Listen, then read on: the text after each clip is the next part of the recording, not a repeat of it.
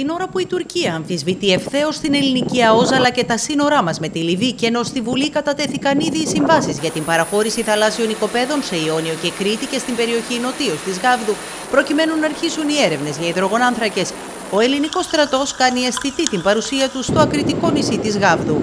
Στο νοτιότερο άκρο της Ευρώπης βρέθηκε τις προηγούμενες ημέρες στρατιωτική δύναμη στο πλαίσιο άσκησης που πραγματοποίησε.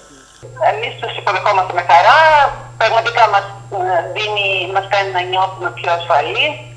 Ε, ξέρουμε ότι τη γάμη την έχουν πάντα στο, ε, την, έχει, την έχουν έννοια και αυτό μας ε, κάνει να νιώθουμε ασφάλεια.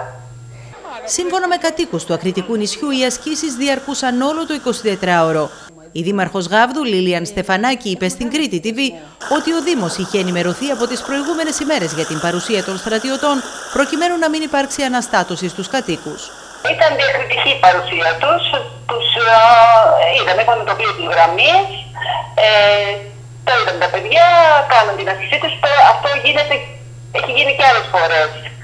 Ε, έρχονται στο νησί για ασκήσει για ενίσχυση του αισθήματος ασφάλειας συνολικά στην ελληνική κοινωνία και ειδικότερα στους ακρίτες, έκαναν λόγο κάτοικοι της Γάβδου.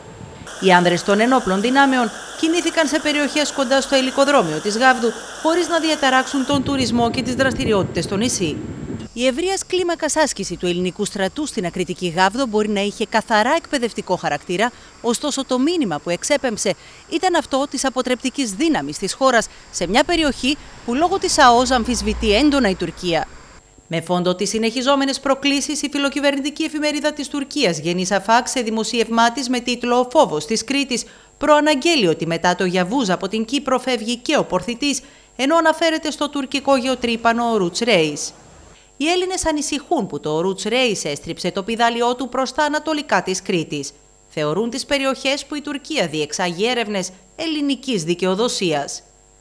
Σύμφωνα με το δημοσίευμα, πάντως, την ώρα που τα δύο τουρκικά πλωτά γεωτρύπανα Πορθητής και Γιαβούζα αναμένουν νέες εντολές για γεωτρήσεις, το ερευνητικό πλοίο Roots Race αναχώρησε από την Ατάλια υπό τη συνοδεία του τουρκικού πολεμικού ναυτικού, γεγονός που έχει ανησυχήσει τους Έλληνες θεωρώντας ότι κατευθύνεται ανατολικά της Κρήτης. Η Τουρκία είναι αποφασισμένη να συνεχίσει τόσο τις γεωτρήσεις όσο και έρευνές της, παρακολουθώντας στενά τη δημιουργία τετελεσμένων που επιδιώκει ο άξονας Κύπρου και Ελλάδας.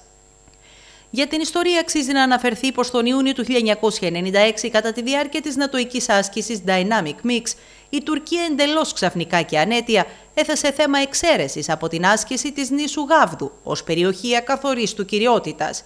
Είχε προηγηθεί η κρίση των ημείων και η έκδοση ενός εγχειριδίου από τις τουρκικές ακαδημίες πολέμου, με το οποίο η Άγκυρα είχε φέρει στην επιφάνεια τη θεωρία περί γκρίζων ζωνών.